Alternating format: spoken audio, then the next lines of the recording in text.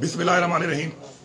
आज की जो प्रेस कॉन्फ्रेंस है, जो उसका मकसद है, वो जो एक कल प्रेस कॉन्फ्रेंस की गई है जो हमारे, जो एक कातिल, इंटीरियर मिनिस्टर है राना सनाउल्ला, और जिस तरीके से ये एक डीप फेक ऑडियोज के ज़रिए और वीडियोस के ज़रिए प्रापेगंडे कर रहे हैं तो मैं भरपूर तरीके से उसको मुस्तरद करता हूँ, और मैं ये पैगाम देता हूँ कि इस तरह की प्रापेगंडे, इस तरह की हरकत ना हमारे हौसले कम कर सकती है, ना हमारे जज्बे कम कर सकती है। आज अलहमदिल्ला पाकिस्तान की आवाम जो है, वो हकीकी आज़ादी के लिए निकल चुकी है और पुरज़म है उसके लिए।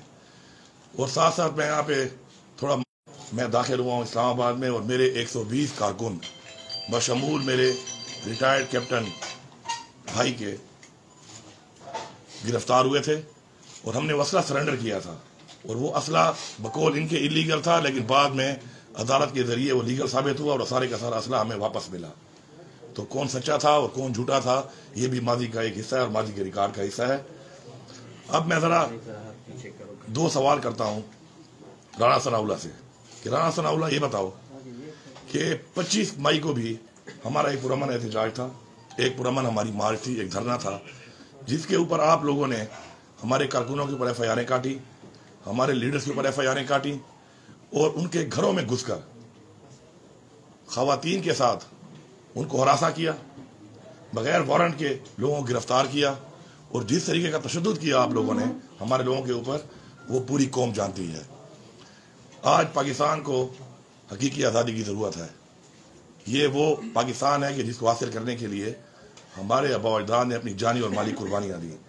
लेकिन आज पचहत्तर साल के बाद दोबारा हमें क्यों ये ज़रूरत पेश आई कि हम आज़ादी हासिल करें? किससे आज़ादी हासिल करें? हम, ये चंद खानदान जिन्होंने पाकिस्तान का माल लूटा और बार बार लूटे हुए माल के बाद डील करके एन आर ओ लिए। और उसके बाद फिर हमारे पे मुसलत हुए। हमारे वो इदारे जो बेहतर साल में आज़ाद नहीं हुए, खुद मुख्तार नहीं हुए, और उन्हीं की वजह से पाकिस्तान भी सही मानों में आज़ाद नहीं हो सका और खुद मुख्तार नहीं हो सका हम चाहते हैं कि हमारी खुद मुख्तारी और हमें हकीकी आज़ादी मिले और उसके लिए इन हम पुरमन थे, हम पुरमन हैं, हम पुरमन रहेंगे और हमारा माजी रिकॉर्ड का हिस्सा है। हमारी पिछली मार्च में भी इनकी इन तमाम हरकत के बावजूद कि हमारे लोग जख्मी हुए, हमारे पे तशद किया गया, हम वहाँ जब पहुँच गए तो हमारे लीडर इमरान खान साहब ने सिर्फ़ इसलिए कि फोर्सेस और आवाम आमने सामने आ गई थी, एहतजाज को ख़त्म कर दिया, ताकि कोई ऐसी सूरत हाल ना बने। गैर कानूनी काम हमने कभी भी नहीं किया, ना हम कभी करेंगे। लेकिन राना सनाउल्ला तुम्हें मसला क्या है आखिर? तुम एक कातिल हो। और ये तुम्हारे बारे में बात मैं नहीं कर रहा। तुम्हारी अपनी पार्टी के उस रहनुमा जो अभी भी तुम्हारे ज़िले में, इस जमनी इलेक्शन में तुम्हारी पार्टी का उम्मीदवार था, उसका वालिद कह चुका है कि तुम एक कातिल हो। तुम्हारे खून से हाथ रंगे हुए हैं मॉडल टाउन में भी। और पंजाब में इलेक्शन आता है, तुम मेरे पे बैन लगा लेते हो। छब्बीस एफ़ आई तो मेरे ऊपर काट चुके हो। हमारे तमाम लीडर्स बशमूल इमरान खान के ऊपर आपने एफ़ काटी हैं। आपने हर तरह के हमले किए उनके ऊपर। हर तरह की कोशिश की, लेकिन पंजाब असम्बली इलेक्शन में भी अवाम ने बता दिया कि वो किसके साथ हैं? उसके बाद रिसेंट असम्बली इलेक्शन में भी अवाम ने बता दिया, वो किसके साथ हैं? और आपने कभी अदालतों में जाकर, कभी इलेक्शन कमीशन के ज़रिए नायल करने की कोशिश की, वो भांडा भी आपका फूट गया। आपकी तमाम तर कार्रवाइयाँ नाकाम हो चुकी हैं। मुराद सईद के ऊपर, घर के ऊपर मुसल्ह अफराद गए। उनकी वीडियो मौजूद है। वो वीडियो में रेड जोन में दाखिल हो रहे हैं। वो वीडियो मौजूद है। वो एफ़ आई आर करना चाह रहा है, लेकिन अभी तक उसकी एफ़ आई आर नहीं हो रही। हमारा भाई अशर शरीफ शहीद, इस मुल्क ने, इस रियासत के इन जिम्मेदारान ने उसको तहफ़ देना था। उल्टा उस पर एफ़ आई आर काटी गई। और उसको इतना हरासा किया गया कि वो मुल्क छोड़ने में मजबूर हो गया। आज वो शहीद हो चुका है। उसके लिए तो आप कुछ नहीं कर सके। आप अपने लोगों को तो तहफ़ दे नहीं सकते। आप बैठ के क्योंकि मसरूफ़ हो, ये फेक वीडियो लीक्स में और फेक ऑडियो लीक्स में अपना जो काम है वो आप कर नहीं रहे हो। मुल्क की मिशन का आपने बेड़ा गर्क कर दिया है। मुल्क की एक्सपोर्ट का आपने बट्ठा बिठा दिया है। महँगाई की वजह से अवाम इस वक्त पिस चुकी है। आप बैठ के अपने आप को एनआरओ दे रहे हो, अपनी चोरियाँ बचाने के लिए। आप अपने लिए कानून शादी कर रहे हो। इन वक्त दूर नहीं है।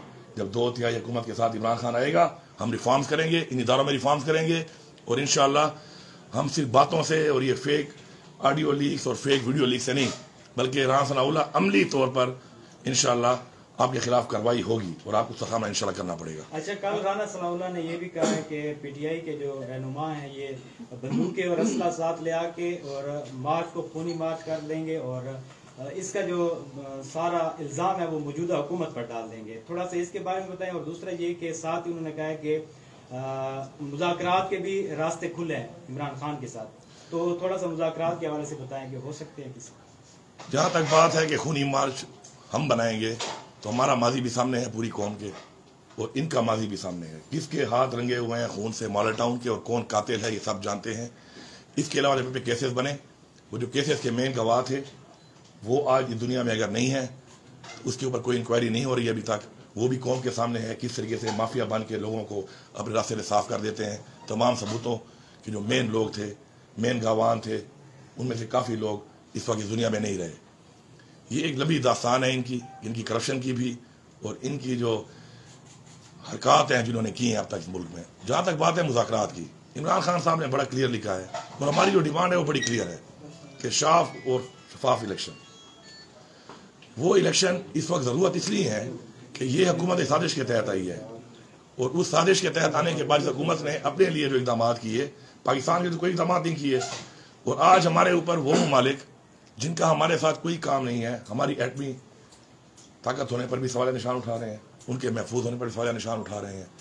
आखिर ये हालात किसकी वजह से बने? किसकी ये कमज़ोरी है? इन्हीं लोगों की ये कमज़ोरी है। आज भिगारियों की तरह कशकोल उठा के हमारा वज़ीर अजम घूम रहा है। गाड़ी की डिग्गियों में मुलाकातें और मुजाकर इन्होंने किए हैं। इमरान खान ने शुक्र है कभी नहीं किए। और अगर मुजाकर होंगे भी सही तो न तो इनकी इतनी अहमियत है न इनकी इतनी हैसियत है। मुजाकर होने हैं जिनसे होने हैं पाकिस्तान के मफाद के लिए होने हैं। और इन हमारे जो एक डिमांड है कि इलेक्शन किया जाए इस मुल्क में और आवाम की ताकत से जो आता है वो इस मुल्क के फैसले करे और जमहूरी तरीके से इलेक्शन कराया जाए। और वो डिमांड हमारी है मुजाकर करने के लिए। इमरान खान ने बता दिया है कि अगर ये डिमांड में रखी हुई है ये पूरी कर दें। बाकी मुजाकर के हवाले से कोई बातचीत अगर होगी कोई फैसला होगा तो वो इमरान खान साहब ही करेंगे। सामने आई है इसमें इसको आप फेक करा दे रहे हैं। ये जो ऑडियो लीक सामने आई है इसको आप फेक करा दे रहे हैं। क्या आप तस्लीम करते हैं कि जिसमें जो आवाज़ है वो आप ही की है? अगर वो आवाज़ आप ही की है तो यकीन आप ये भी जानते होंगे कि जिस नामालूम शख्स से आप बात कर रहे हैं तो उसका नाम भी बता दें। नामालूम तो कोई नहीं है। इस मुल्क में नामालूम तो खाता खत्म हो चुका है अब। अब तो हर कोई नामालूम मालूम है हर एक को। तो बात यह है कि उसका भी उन्होंने पिक्चर भी लगा दी है उसकी और उसका नाम भी आ चुका है सब कुछ आ चुका है। ये मिक्स एंड मैच करके ये जो इस तरह के प्रापे गंडे हैं ये अभी मजीद भी करेंगे और ये पहले भी कर चुके हैं। लेकिन हम इसको मुसरत भी करते हैं और हम इनको वादे बता रहे हैं। मैं वादे पैगाम दे रहा हूँ इनको कि हम इमरान खान के अहकाम के मुताबिक चलते हैं। इमरान खान हमारा लीडर है वो जो हमें हुक्म करता है हम उसकी पासदारी करते हैं आगे भी करेंगे। जो इमरान खान बयानियाँ लेकर चल रहे हैं आगे। उसमें ये कहा जाता है कि जो खसूस अगर बात की जाए, जो इधारों के खिलाफ बातें वो कर रहे हैं, जो मीडिया पर अभी वायरल हो रही है, चीज़ें सामने आ रही हैं तो इस हवाले से जो पाकिस्तान तहरीक इंसाफ की जो मरकजी क्यादत है, उसमें कोई इख्तलाफा पाए जाते हैं? खसूस बात की जाए, जनरल सेक्रेटरी जो मरकजी असद उमर साहब और इमरान खान वगैरह, कोई इसमें हकीकत है? देखिए जी, एक बात तो बड़ी क्लियर है। मैं आपको कोई ऐसी बात नहीं बता रहा कि किसी और के से सुनी बात। इमरान खान साहब ने मेरे सामने एक बार नहीं, कई बार ये बात की है। कि पाकिस्तान की फौज पाकिस्तान के लिए मुझसे भी ज़्यादा ज़रूरी है। कई बार मेरे सामने ये बात की है। इमरान खान इदारों को मज़बूत करने की बात तो ज़रूर करते हैं। इदारों को खुद मुख्तार करने की बात ज़रूर करते हैं। इदारों को आज़ाद करने की बात तो ज़रूर करते हैं, लेकिन कभी भी इदारों से हमने कभी भी टकराव न लिया है, न लेंगे। अब किसी भी वजूहत के ऊपर कुछ शख्सियात की वजह से अगर किसी किस्म का कोई डिबेट शुरू हो जाता है तो उसको इदारे इदारे के साथ साधु ना समझा जाए, ऐसी बात ना समझी जाए। ये हमारा क्लियर पार्टी का एक नैरेटिव है और उसके ऊपर हम सारे खड़े हैं इंशाल्लाह, पाकिस्तान के इदारे हमारे ही इदारे हैं उसमें हमारे ही लोग हैं। अब आप मुझे बताएँ कि अगर पाकिस्तान की फौज है उसमें कौन है? ये आपका भाई है या मेरा भाई है? पाकिस्तान की पुलिस है, पाकिस्तान की जुडिशरी है, पाकिस्तान के सरकारी महकमे हैं, इन सब के अंदर कौन लोग हैं? ये हमारे ही लोग हैं, ये हमारे ही भाई हैं। और मैं एक पैगाम देना चाहता हूँ फोर्सेस को भी, कि पिछली दफ़ा भी हुकूमत का अलाकार बन के उन्होंने बड़ी जाति की गैर कानूनी इकदाम किए आप इनका अलाकार ना बने। ये लोग ना आपके बच्चों के खैर ख्वाह हैं, न इस मुल्क के खैर ख्वाह हैं। आप इनके अलाकार ना बने। एक पुरमन जो एक मार्च है, जिसका हमें आइन में हमें इजाज़त है तहफ़ है मैं उसका, उसके अंदर आप इनके कहने के ऊपर तशद अवाम पे ना करें, क्योंकि ये आपके ही भाई हैं, ये पाकिस्तान हमारा मुल्क है। इस मुल्क को हासिल करने के लिए हमने बड़ी कुर्बानियाँ दी हैं, हमारे वालदान ने बहुत कुर्बानियाँ दी हैं, और अभी हकीकी आज़ादी के लिए जो लोग निकल चुके हैं, और जिस तादाद में लोग शामिल हो रहे हैं तो मैं ये समझता हूँ कि इंशाल्लाह वक्त दूर नहीं है कि इंशाल्लाह अब हमें इन इंशाल्लाह की आज़ादी मिलेगी अपनी। वो उसको पिंडी से गिरफ़्तार कर लिया गया तो इसमें क्या आप देखते हैं?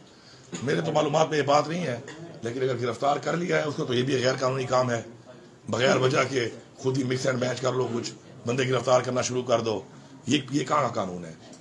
गिरफ़्तार करने के लिए पाकिस्तान की अदालतें हैं। पाकिस्तान की अदालतों के अहकाम पहले भी इन्होंने नहीं माने। उससे पहले इकदाम करके लोगों को उठाया। आप मुझे ये बताएँ कि कौन से मुल्क में कौन सा कानून इजाज़त देता है? एक अठहत्तर साल का एक बुज़ुर्ग, आदम सवाती जो सेनेटर है, उसको उठा के ले गए और बरना करके शहीद किया गया उसके ऊपर। इससे पहले शहबाज गिल के साथ जो किया गया, वो भी पूरी कौम के सामने है। ये इन्होंने एक, जो निज़ाम इस मुल्क में चलाने के लिए एक साक्षी अनासर जो बैठ गए हैं, ये इसको हम मुसरत करते हैं। और मैं समझता हूँ कि आज इन वाकयात के बाद मैं मेरा ये ज़ाती एक मैं बयान दे रहा हूँ मैं ये समझता हूँ कि न मेरे बुज़ुर्ग सेफ़ हैं इस मुल्क में, ऐसे लोगों के होते हुए, ऐसी माफिया के होते हुए, ना हमारी माएँ, बहनें, बेटियाँ, बीवियाँ, हमारे बच्चे, हमारे भाई इस मुल्क में आप सेफ़ नहीं है। और इसीलिए हम हकीकत आज़ादी चाहते हैं ये कोई तरीका नहीं है कि आप किसी को उठा लें और उसके साथ कोई भी इकदाम आप कर लें। एक मुल्क का कानून है, उसके दायरे में रहते हुए अगर कोई काम होता है तो अवाम भी उसको एक्सेप्ट करती है। अगर कानून के दायरे से निकल के कोई हुकूमत अपने ज़ाती मफाद के लिए अवाम पर तशद करेगी अवाम के खिलाफ इस तरह की इंतकामी कार्रवाइयाँ करेगी तो अवाम उसको मुसरत कर चुकी है और आपके सामने है जो अवाम निकली हुई है क्यों निकली हुई है? इलेक्शन का रिज़ल्ट बता रहा है इस बात को कि अवाम ने मुसरत कर दिया है इनको। अली खान ये बताइए कि गुजशत रात जगह था सारी रात मुजाकरात होते रहे। ये कुछ हवालों से ये बात की जा रही है। क्या इस चीज़ का इम्कान है कि आज आ, या तो मुजाकर अगर कामयाब होते हैं तो ये ख़त्म हो जाएगा लॉन्ग मार्च और वरना फिर ये आगे चलेगा। एक दूसरा, ये आप क्या इस चीज़ की तस्दीक करते हैं कि ये फेक है या ये किसी जगह से लीक हुई है? क्योंकि इनिशियली आपने ये नहीं कहा कि ये फेक है। और बाद में आपने ये कहा, कि जी ये फेक है। तो कहने से मुराद ये है कि ये दो, इन दोनों चीज़ों का एक तो फैसल वाउडा की जो प्रेस कॉन्फ्रेंस की गई और ये जो एक लीकेज है इससे बरह रास्त हुकूमत को फ़ायदा होता है। उसको जस्टिफिकेशन मिलती है कि वो इस लॉन्ग को रोके। तो क्या आप समझते हैं कि ये फेक है? पहली बात तो जो आपने की मुजाकरात के हवाले से। देखिए जी मुजाकरात के दरवाजे इमरान खान ने कभी बंद नहीं किए। उसने सिर्फ़ ये बोला है कि मुजाकरात के लिए जो मेरी एक चार्टर ऑफ़ डिमांड है उसमें एक ही जो डिमांड है कि इलेक्शन कराया जाए इस मुल्क में फ्री एंड फेयर वो एक क्लियर बात है। वैसे कल उन्होंने खुद ही क्लियर कर दिया कि मेरी न किसी से मुलाकात है न किसी से बातचीत है। और अगर ऐसी कोई बात है तो मेरा ये एक मुतालबा है ये मैंने पूरी कौम के सामने रखा हुआ है। दूसरी जो आप बात कर रहे हैं उस हवाले से जो मिक्स एंड मैच करके कल एक मेरी राना सनौला के साथ भी आई हुई है। तो उसमें भी राना सनौला है फिर आगे से। एक कार्रवाई उसके खिलाफ भी की जाए फिर। ये जो प्रापिगंडे हैं ये जो शोशे ये छोड़ रहे हैं, ये जो आज से नहीं छोड़ रहे, इनकी डाकू रानी पहले दिन से उसका काम यही है। कभी वो कहती है मेरे पास वीडियोस हैं, कभी कहती है मेरे पास ऑडियोज हैं। वो मतलब है इस तरह के इकदाम करके, इस तरह की बातें करके, इदारों के ऊपर इन्होंने डायरेक्ट हमले किए हैं। इनका भी जरा माजी उठा लेना इन्होंने माजी में क्या क्या किया है। इन्होंने माजी में किस तरीके से नाम लेकर कितने बड़े बड़े इदारों के सरबराहों को जो है वो तनकीद का निशाना बनाया है। बार मुल्क में बैठकर इन्होंने बार मुल्क से बैठ कर अपने मुल्क के, हमारे सरबराहान, हमारे इदारों के सरबराहान के ऊपर उंगलियाँ उठाई हैं। उन पर इल्ज़ाम लगाए हैं। शुक्र है हमारी तारीख में या हमारे हाल में कोई ऐसी चीज़ नहीं है और इंशाल्लाह हमारे मुस्तबिल में भी कोई ऐसी चीज़ सामने नहीं आएगी। अच्छा भाई, आगे की आज़ादी का आज तीसरा रोज़ा है। खैबर पख्तूनख्वा से काफिले जो है, वो कब रवाना होंगे। दूसरी बात यह है कि राना सल्लल्लाहु साहब ने कहा था कि अगर ये वफाक में यहाँ पे मौजूद होता है तो उसको गिरफ़्तार भी कर लिया जाता। है अगर आप वहाँ पे इंटर होते हैं और गिरफ्तारी का अमल जो है ना, वो अगर लाए अमल तैयार भी कर लेते हैं और गिरफ़्तार किया जाता है तो उसके बाद क्या रिएक्शन हमें जो बताया गया है लॉन्ग मार्च के हवाले से कि जब इमरान खान साहब इंशाल्लाह पहुँचेंगे इस्लामाबाद, उससे पहले हमने उनको जाके वहाँ पे रिसीव करना है, उनका हमने वहाँ पे इस्तेबाल करना है। तो उस हवाले से जो डेट्स हैं वो आपके सामने आ जाएँगी क्योंकि उन्होंने इस्लामाबाद की तरफ़ रवाना है। अब कितने दिन लगते हैं, लेकिन हमारी पूरी तैयारी मुकम्मल है इंशाल्लाह और हम वहाँ पहुँचेंगे। बाकी जो गिरफ्तारी करने वाली बात है, मेरे पे छब्बीस एफ़ काटी गई हैं। अभी, इस पच्चीस तारीख के बाद। उन छब्बीस एफ़ को काटने की कोई वजह कुछ भी नहीं है। उसके बाद इन्होंने बार बार फोने करवा के मुख्तलिफ़ जरायों से धमकियाँ दिलवा रहे हैं कि हम आपको मारेंगे, हम आपको गिरफ़्तार करेंगे, हम आपके खिलाफ एक्शन करेंगे। तो ये समझते हैं कि हम लोग इसी से डर जाएँगे। हम डरने वाले नहीं हैं। दूसरी बात यह है कि अगर मेरे पास लाइसेंस है रियासत पाकिस्तान का दिया हुआ और रियासत पाकिस्तान हमें लाइसेंस देती क्यों है अपने तहफ़ के लिए? इस्लाम ने भी सुन्नत है अपना तहफ़ करना। और इसी तरह रियासत ने भी एक जो सिस्टम बनाया हुआ है इसलिए बनाया है कि अपनी हिफाजत आप करें। अगर राना सलाहुल्ला ये समझता है कि वो मुझे मारेगा या मेरे लोगों को मारेगा और वो ये समझता है कि मैं उसका शक्ल देख के उसको माफ़ कर दूँगा तो ऐसा कुछ नहीं है। ऐसा नहीं है। इन मेरा, मेरी ये ज़िम्मेदारी है कि मैं अपना और अपने लोगों का तहफ़ करूँ। हाँ इमरान खान साहब जो है, वो आगे हमने क्या करना है, वहाँ पे उन्होंने क्या अमल देना है हमें वहाँ जाकर, ये फैसला इमरान खान साहब ने करना है और इमरान खान साहब जो भी फैसला करेंगे, हमें हमेशा से मन वानो कबूल भी था। हम उसमें लगभग भी कहते हैं और इंशाल्लाह कहते रहेंगे। आपके दौरे हुकूमत में मुतज सहाफियों को उठाया गया जबकि मौजूदा जो दौरे हुकूमत है यहाँ भी सहाफी जो है उनको भी उठाया जा रहा है। तो ये कौन लोग हैं? सर इनके बारे में तो आप यकीन जानते होंगे। देखिए जी सहाफत जो है वो एक ऐसा शोबा है कि जिसके अंदर फ्रीडम ऑफ़ स्पीच वो बिल्कुल इजाज़त है। हर इंसान को भी है साफी को भी है और हर इंसान को हर शहरी को भी है। हमारे टाइम में जो कार्रवाई अब हो रही हैं उसके ऐसी कार्रवाइयाँ कभी नहीं हुई। कभी भी हमने इस तरह साथियों को इतना तंग नहीं किया या इस तरह की एफ़ नहीं काटनी कि वो भूल छोड़ने पर मजबूर हो गए और आज अपने जान से हाथ धो बैठे शहीद हो गए। अब इन्होंने जो हालात पैदा किए हुए हैं इमरान खान साहब के खिलाफ तरीके इंसाफ के खिलाफ के मुकम्मल चैनल्स को बैन किया हुआ है इमरान खान साहब को आप दिखा नहीं सकते आप उनकी कवरेज नहीं कर सकते। ये इकदाम जो उन्होंने किए हैं उससे अगर समझते हैं इनको फ़ायदा हो रहा है तो ये एक और बेवकूफ़ी है। इससे इनको नुकसान हो रहा है। ये पाकिस्तान के जो मुख्तलिफ़ शोबे हैं, उनके ऊपर जो हकमियत बनाना चाहते हैं, इससे इनके अंदर मजीद नफरत पैदा हो रही है और उस नफरत का रिज़ल्ट जो है, मैं रिपीट करता हूँ कि आपके पंजाब के इलेक्शन में और अब अभी रिसेंट आपके इलेक्शन में अवाम ने साबित कर दिया है। बावजूद इसके कि चीफ इलेक्शन कमिश्नर इनसे मिला हुआ है। वो इनका अलाकार है। ये इलेक्शन कमीशन इस वक्त बाइस्ड है। उसके बावजूद, धांधली के बावजूद, ऐसी कार्रवाइयों के बावजूद भी शिकस्त का मतलब ये है कि इनको आवाम भरपूर तरीके से मुकम्मल तौर पर मुस्तरद कर चुकी है। Thank you sir